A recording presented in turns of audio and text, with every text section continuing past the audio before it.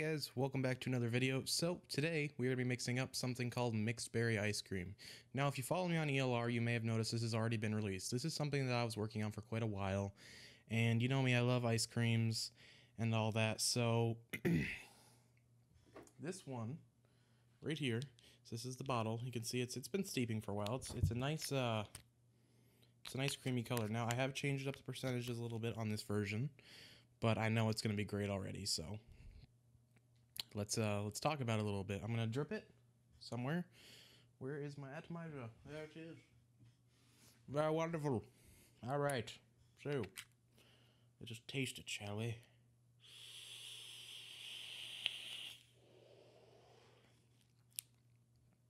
Mmm. It tastes delicious. I'm not gonna lie. I like it a lot. Um, if you are noticing, Actually, let me turn this one a little bit, get it more on my face. There we go.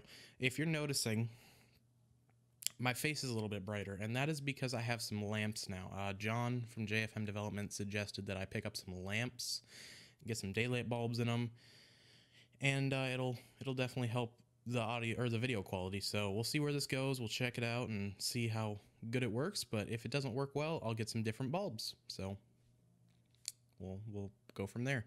So let's uh, mix it up.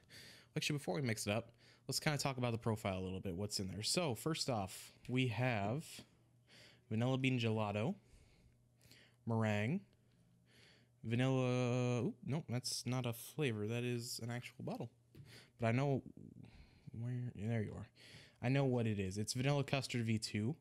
Get these out of the way. Uh, biscuit by Inawera harvest berry, vanilla bean ice cream, cream cheese icing, and bilberry.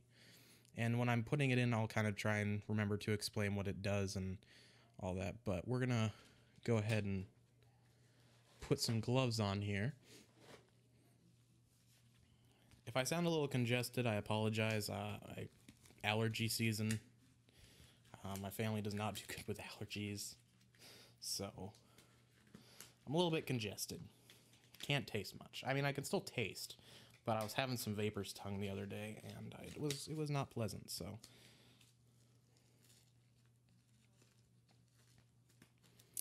So, get this glove on here.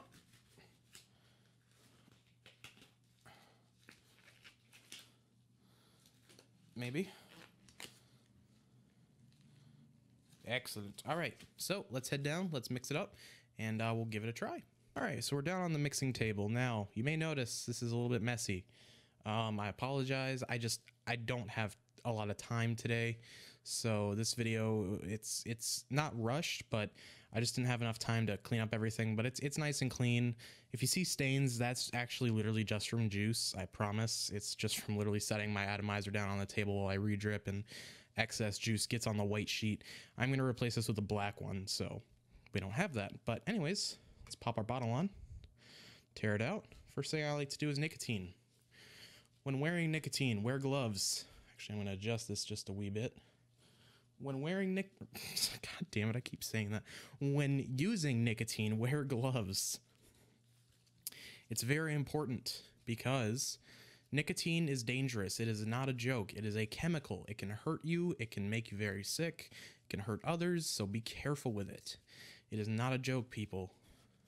Now I am using 60 milligram VG suspended nicotine at uh, 100% VG. Sorry, didn't think clearly there. Um, you can use whatever you have, VG, PG. Uh, I prefer to work with VG based nicotine just because I find it easier to work with. Some people like PG based nicotine, more than fine. Use what works for you. You can adapt the recipe on ELR, and um, it's pretty simple. So you just click that little wrench and click adapt and then enter in your milligrams. So like your nicotine strength or the solution of nicotine that you have and then the preferred strength. So give this one more good shake. I need to get a better bottle for this. I need to put this in a 30 mil or something because this is ridiculous, this bottle. All right. Nicotine is shaken up. So we need 1.89 grams of nicotine.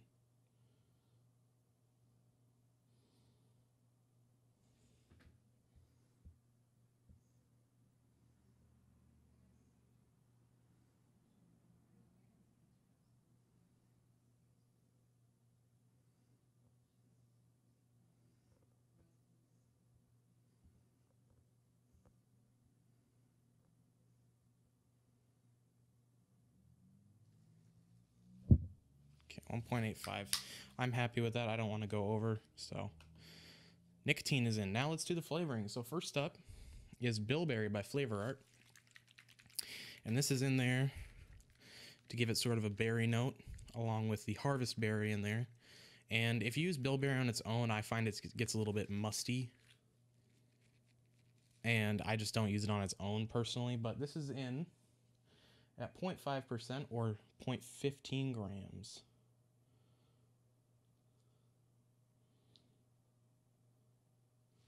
Okay, bilberry is in. Beautiful. Next up is Biscuit by Inawera. This is in also at 0.5% or 0.15 grams. And what Biscuit's in there to do is give it a little bit of crumbliness on the uh, ice cream, kind of like an ice cream cone. Don't use this this flavor high, folks. Don't go above 1%. At least I would say. There are some recipes out there that do, and it works. But I would suggest not going above 1%. That's just my personal opinion. So, so 0.15 grams again.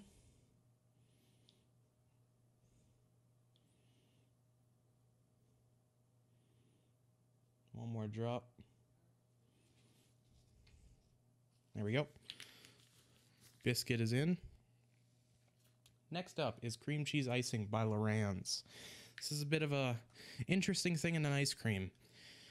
This is going to really give us that delicious, uh, creamy uh, ice cream. Well, working with the other ice creams, of course, but it's it's a really good flavor. I highly recommend picking this up. It has so many uses, and I put this in there at 0.75% or 0.23 grams.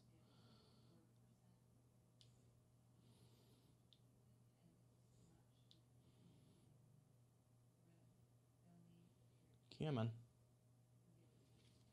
Beautiful. Absolutely gorgeous. It is in.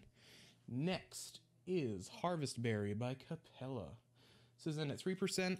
This is there to give that berry note a bit more boost and take away the mustiness from the bilberry. And it just, it's a great bilberry, or great berry. Learn to speak. Thank you.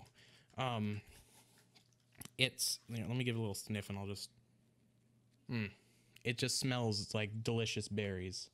So this isn't at 3% or 0.9 grams.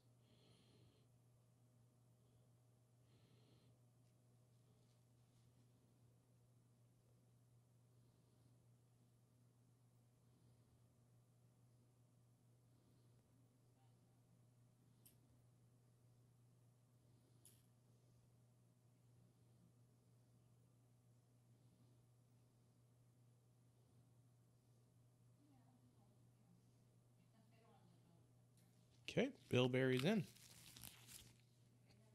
Next up is meringue by TFA. You can sub this for flavor art. It's not much of a difference, and um, it's really your choice. So if you have TFA meringue, use it. If you have flavor arts meringue, use that. It'll work perfectly fine either way. But TFA's meringue is in at 0.6 grams or 2%. Gonna have to use a pipette for this one and the vanilla bean ice cream, so I apologize if that bothers anybody that I'm using one pipette for two flavors, but it's just how it's got to go, folks. So, we're looking for 0.6 grams.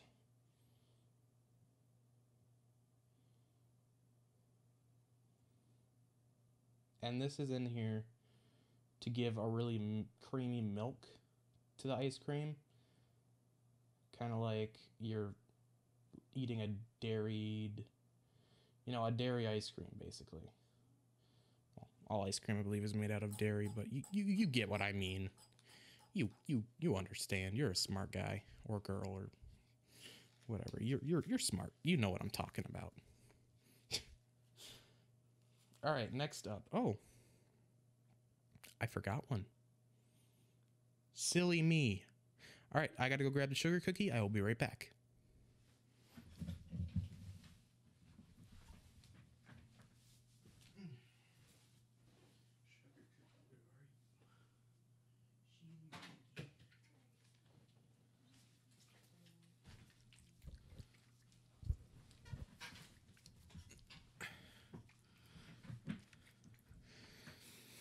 And we're back. All right, got the sugar cookie.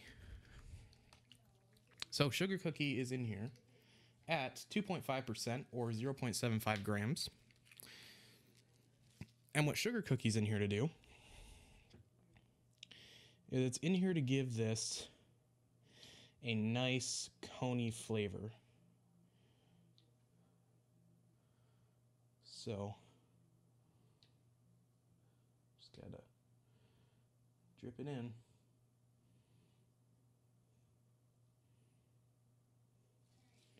All right, sugar cookies in. Next up is vanilla bean gelato. I like how I said that gelato. This is in at 2% or 0.6 grams, and this is there to build that ice cream note. So we need it at 0.6 grams. Is a hard bottle to squeeze.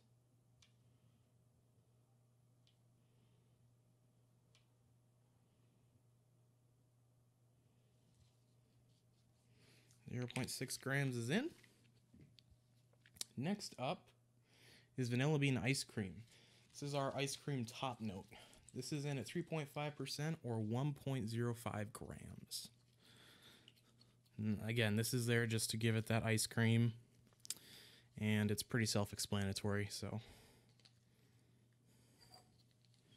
Again 1.05 grams. So let's drip it in.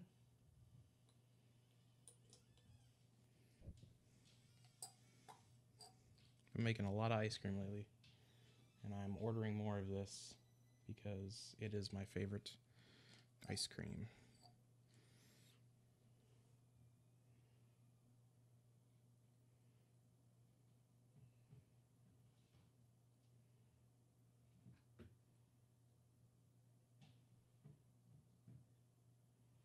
All right, 1.05 grams is in. Pipette is done. You, sir, have finished your job. Congratulations. Last but not least is Vanilla Custard V2 by Capella. You can sub this for V1 if you want more egginess, more thickness. But we're using V2 in this scenario. So I have this decanted into a smaller bottle, but don't don't let that fool you. It's it's really vanilla custard V2. So this is in at one percent or 0.3 grams, and what this is here to do is to give a rich, creamy vanilla taste with some thickness, and uh, I think it's gonna go well. It's gonna be really dense and uh, yeah, I'm, I'm looking forward to it. So. Vanilla custard is in. Now all that's left is the VG and the PG. So let's grab our VG. So we need one point, I'm sorry, 4.43 grams of VG or 30%. So 4.43.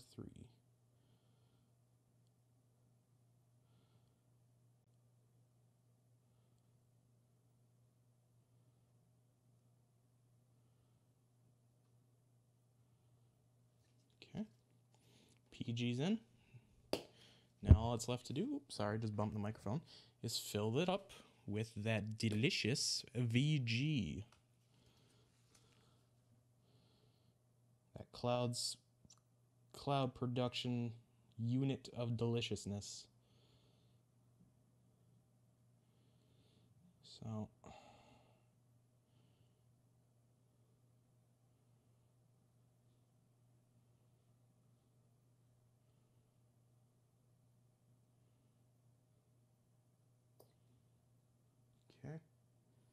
we are spot on pretty much. We're 0.2 of a gram short.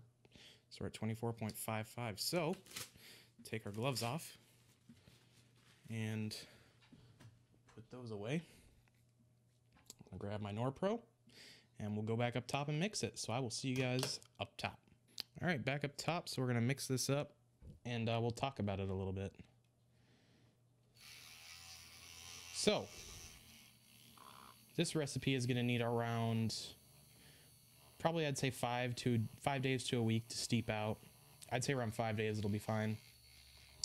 And it'll have a really nice rich ice cream and it'll have a pretty blended together berry. Um, it's going to be probably around the mid range if I could if I could give like a range of how powerful it'll be.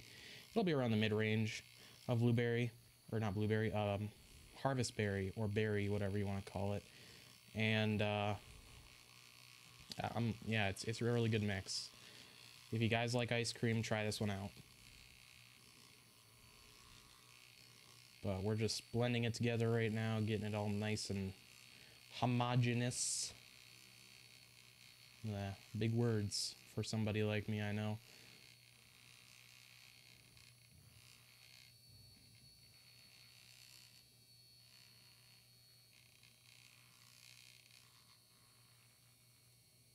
Okay. I think we're done mixing it.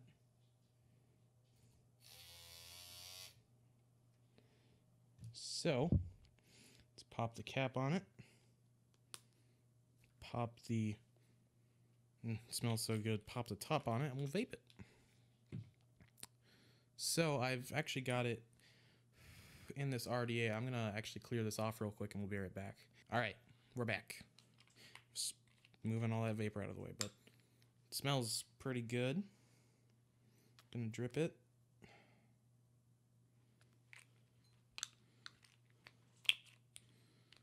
And pop our tube cap on. Here we go.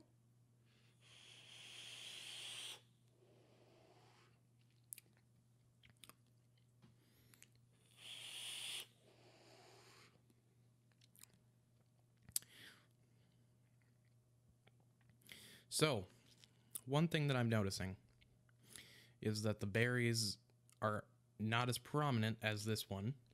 Um, and that's not because I mismeasured or anything. It's because I upped that vanilla ice cream. That's exactly what I was going for was a less prominent berry, but that's something that's still there.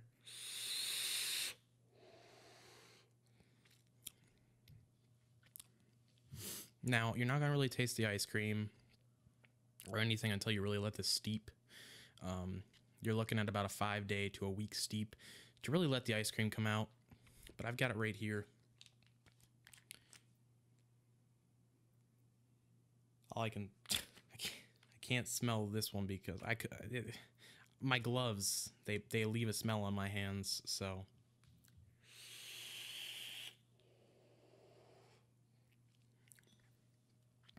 But um, let's go ahead and drip some of this stuff right here. I'm using a pair of fused Claptons.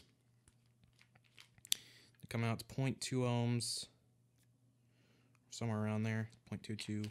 Vaping into 100 watts. And it's a tasty vape.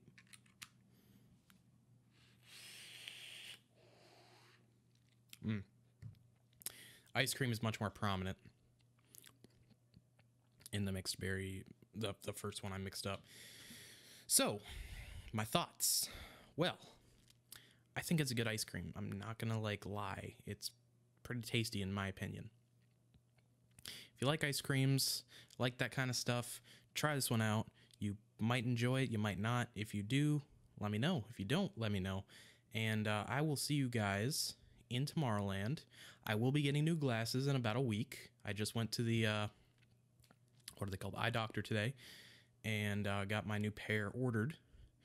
So I just burped. Uh, excuse me. Um, yeah. So thanks for watching, everybody. Hope you enjoyed. If you did, leave a like and a comment. I will see you guys in tomorrow. Bye.